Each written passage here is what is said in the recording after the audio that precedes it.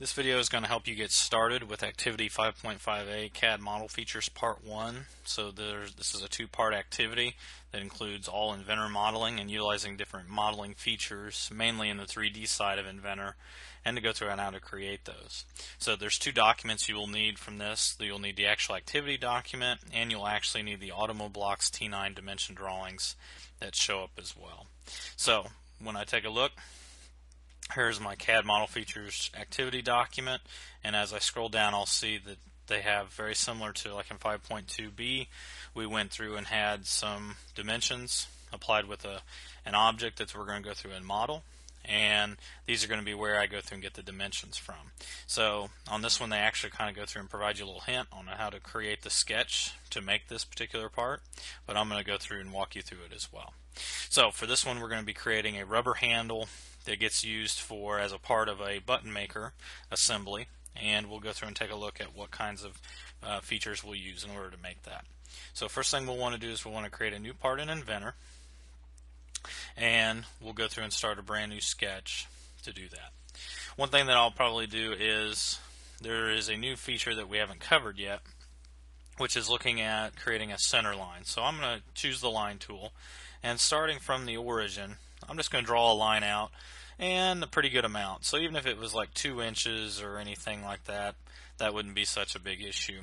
So it really, we're not too concerned with the length of it. But you'll notice there's a purple line that shows up right along the x-axis within Inventor's sketch plane. I'm going to right click on it and say center line to make it a center line and what will happen is, is it becomes a series of center lines just like what we used in dimensioning from first semester and the center lines are going to help us with creating the sketch. So as far as to create the actual part, I'm going to use the line tool again. I'm going to go ahead and use the y-axis to help kind of constrain my geometry a bit. I'm going to draw the following shape onto my sketch plane, making sure that I do have straight lines and making sure all the parts connect to each other as well. So one of the things we'll also take a look at is you know, they do give us a couple dimensions and then they leave a few blank that we're going to have to go through and interpret from the print drawing. So 4.469 is going to be our uh, length of our particular part. So I can dimension from the edge to end 4.469. If I zoom out a little bit, my um, my line my lines will go through and everything will expand a little bit. And the other dimension that I have to go through and apply is 0.156 on the very end. So I'll just click on the very end 0.156 and that will go through and help kind of set up our particular dimension. As I take a look, a couple of the dimensions I'm looking for is like, so here they have a construction line. They use a construction line, but I go through and utilize a center line because within this print, they go through and show that there is a diameter of 0.1875. So from the from the uh, construction line or the center line they have drawn here in the print down to the edge of where we have. So I'm going to click on the center line and click down on this line here. And if you'll notice, it extends out and I'm going to kind of drag my dimension a little bit below where the axis line is being represented so it's easier to see. But I can go through and do a 0.1875 and it will go through and it will dimension. Now it'll only go out to three decimal places, but our dimension is accurate then for going through and having that. So this is representing that that means when this, the other side of the part gets generated, it will go through and start from this point representing our hole. Another part we'll take a look at is um, the outside diameter. So you'll see this has a diameter of 1.375 OD, and that stands for outside diameter. So from the center line to the very outside edge of my part, I'm going to create another one of 1.375 and then the only thing that I have left to do is to take a look at well what's the thickness of the part? Well the thickness of this part you can see by these lines these are called section lines that go through and indicate that this has been cut away to show the inside of the part. So we get a dimension of 0.25 to go through and to represent the thickness of the walls of our of our uh, rubber handle.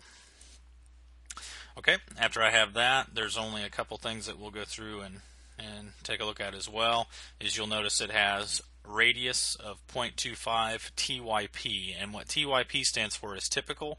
So that means any place that you see around along the outside edges, that one's going to have a radius of 0.25. So it keeps you from having to reproduce and copy a bunch of dimensions onto the drawing. So that means we're going to have one here and we're going to have one here. So we'll go through and let's apply that in the 2D sketch. So I'm going to set our fillet to be 0.25. I'll choose the bottom round here and then I'll also have one on the very end as well. So to go through and represent our particular part. So and again, we're just kind of looking at if our profile was look, I've got a round on the end here and I got a round right there. It stays fairly square as it go around on the inside edges.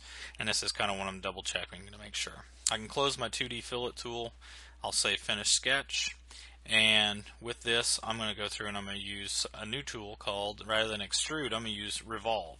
So Revolve goes through and uses a profile and it will automatically pick up my profile.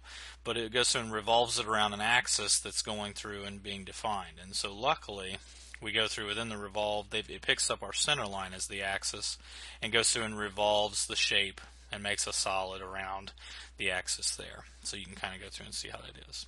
We're going to go to a full. You can either go full, you can go between an angle, 90 degrees. You could always go through and just put in however much you wanted. So I could always change from 90 to 180 or any of those, any angle degree between there. But we're going to go through and do a full uh, revolve and it's just kind of a neat feature to look at and to use. I'll click OK and then there becomes my rubber handle for my particular part. So you can kind of go through and see how it's smaller. It got a small hole on the end, and I guess it has a larger one on the other side, and that's what we were going through and dimensioning as we did that. So this sleeve would fit over the a metal handle that would be used to create uh, parts for buttons. So the only thing we have left is to change the material. So from generic, I'm going to go ahead and choose rubber. It'll change the appearance of it as well as changing some of the physical properties within the menu in order to go through and do that. So after you have this done, make sure you save this into your Activity 5.5 folder as a rubber handle.